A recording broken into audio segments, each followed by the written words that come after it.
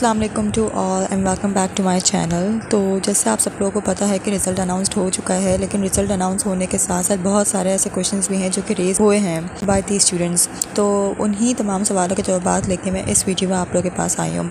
So make sure to watch video till end and do not skip the videos क्योंकि मैंने कुछ steps में जो है डिवाइड कर दिए हैं आंसर्स और जो सबसे कीमती आंसर है वो है step number four and step number five में. So make sure to watch the video till end so so, उस टेस्ट के रिज़ल्ट्स में जो है हमें कुछ चीज़ें कॉमन देखने को मिली हैं कि बहुत सारे स्टूडेंट्स अभी भी ऐसे हैं जिनके रोल नंबर्स मिसिंग हैं। So this is my point number one step number one which I am going to discuss in this video firstly कि वो स्टूडेंट्स जिनके रोल नंबर्स अभी भी मिसिंग हैं after the announcement of results तो उनके साथ जो है दो सिनेरियोज हो सकते हैं।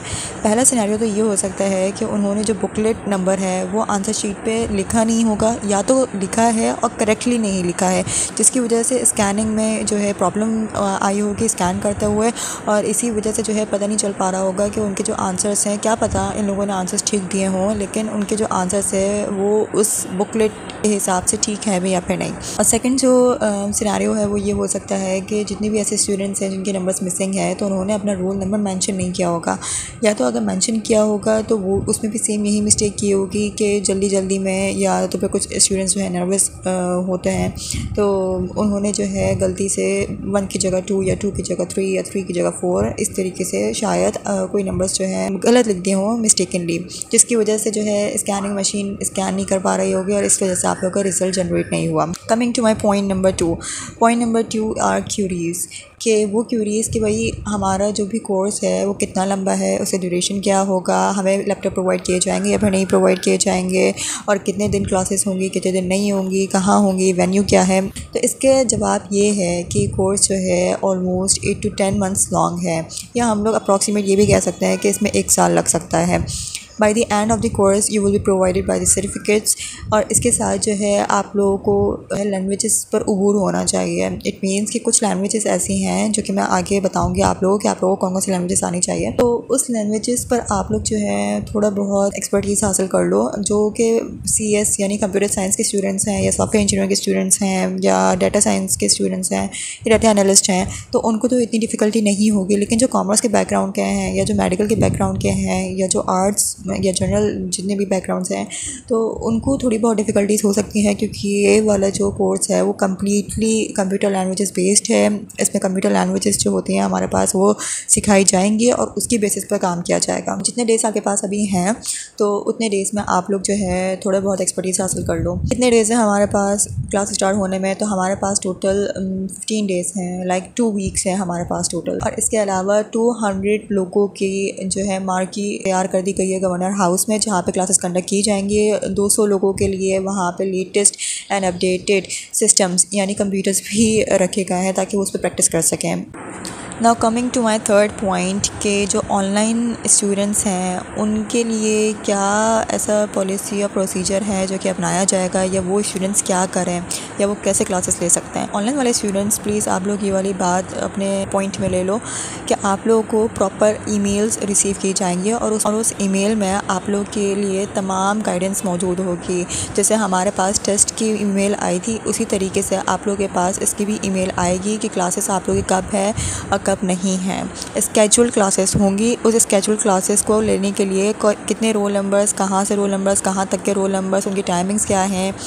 ये सारी की सारी चीज़ें उस ऑनलाइन में मौजूद होगी तो परेशान होने की ज़रूरत नहीं है। सेकेंडली कि आप लोगों की ऑल्टरनेट डेज़ पे भी क्लासेस हो सकती हैं। तभी हो सकता है कि आप लोगों की क्लासेस क्योंकि नंबर ऑफ़ चंक्स जो है बहुत ज़्यादा है ऑनलाइन स्टूडेंट्स का तो उनके लिए सेपरेट क्लासेस कंडक्ट की जाएँगी। एंड लास्टली जो ऑनलाइन स्टूडेंट्स हैं, अगर वो चाहें तो उनके लिए ऑन साइट भी करवा सकते हैं। लेकिन इस पर कुछ पैरामीटर्स हैं। तो वो देखे जाएँगे। पैसेज ऑफ़ टाइम ऐसा भी हो सकता है कि जितने ऑनलाइन स्टूडेंट्स हैं, वो कन्वर्ट होकर ऑन साइड स्टूडेंट्स में भी आ सकते हैं। Coming to my next point which is point number four scheduled जो हो चुके हैं ऑन साइट के लिए, उनके लिए क्या पॉइंट्स हैं? तो दोस्त students who are labelled as on site तो वो प्लीज़ ये वाली बात याद रखें कि उन लोगों को जाके क्लासेस लेनी होगी जो भी वैन्यू डिसाइडेड होगा। अभी तक जो है पता चला है कि एक तो गवर्नर हाउस है वैन्यू और एक दो वैन्यूज़ गवर्नर हाउस से हट के भी हैं तो वहाँ भी, भी क्लासेस कंडक्ट हो सकती हैं। ठीक है सेकेंडली ये कि आप लोगों को लैपटॉप की या किसी चीज़ की फ़िक्र करने की ज़रूरत नहीं है क्योंकि वहाँ पर ऑलरेडी लैपटॉप्स या जो भी सिस्टम्स हैं कंप्यूटर्स हैं वो ऑलरेडी होंगे। तो आप लोग वहाँ पे प्रैक्टिस आराम से कर सकते हो। आप लोग को भी ईमेल रिसीव होगी। उस ईमेल पे प्रॉपर आप लोग के टाइमिंग्स और प्रॉपर सारी चीज़ें, सारी डिटेल्स लिखी हुई होंगी। आप लोग जो क्लासेस कंडक्ट होंगी, वो भी सेपरेटली होंगी। And most of the all कि आप लोग की जो क्लासेस होंगी, वो वीकेंड्स पे कंडक्ट होने कहा गया है। लेकिन अगर वीकेंड्स नहीं होगी तो आप लोग क्लासेस भी अल्टरनेट डेज़ पे कंडक्ट होंगी। जैसे अगर first day for example first class आप लोग की मंडे को है तो नेक्स्ट क्लास आप लोग की होगी वेंसडे को। सेकेंड क्लास वेंसडे को है तो थर्ड क्लास आप लोग की होगी फ्राइडे को and so on so forth to my next point prerequisites क्या है इस कोर्स के लिए? प्री रिक्विजिट्स तो ये हैं कि आप लोगों को सबसे पहले कुछ लैंग्वेजेस आनी चाहिए। उन लैंग्वेजेस से क्या मुराद है? आप लोगों को एच टी एम एल आनी चाहिए। एच टी एम एल का एक short intro and short video मैं अपने चैनल पर भी डाल दूँगी। वो आप लोग देख सकते हो। इसके अलावा आप लोगों को सी एस एस आना चाहिए जावा स्क्रिप्ट आनी चाहिए and what is programming basically मैंने ये वाली जो सीरीज़ है वो स्टार्ट कर दी है वॉट इज़ प्रोग्रामिंग के नाम से।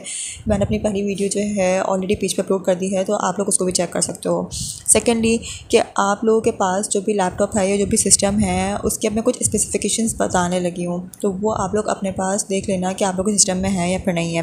फोर आई फाइव हो फिफ्थ जनरेशन हो एट जी बी रैम हो उसकी five hundred G B hard disk हो एंड नथिंग एल्स बाकी जितनी भी आप लोग की एडवांसमेंट है, आप लोग बाद में करवा लेना।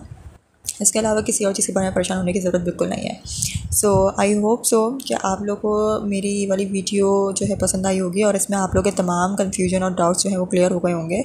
अगर फिर भी आप लोगों को कोई डाउट है so you can comment down I will let you know thank you so much for watching this video